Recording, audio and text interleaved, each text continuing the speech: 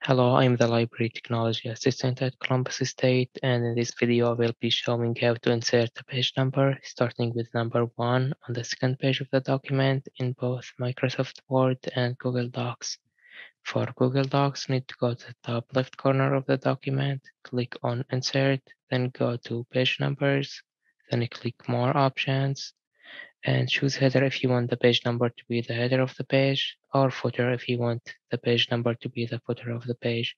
Then uncheck this box to uh, not show the page number on the first page of the document. Then change the start at value to zero instead of one.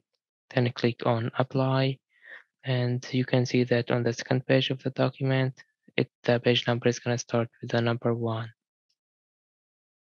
For Microsoft Word, you need to go to the top left corner of the document, click on Insert, then go to Page Number, click on it, and choose top of page if you want the page number to be the header of the page, or choose bottom of page if you want the page number to be the footer of the page.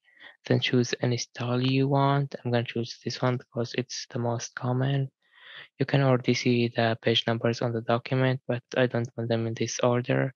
So go to header and footer on top of the page, click on page number, then click on format page numbers, and then click on start at and change the value from one to zero. Then I click OK.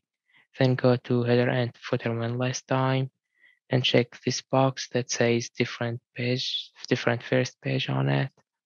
And once you do that, you should be done. You can see the page number starts with one on the second page of the document.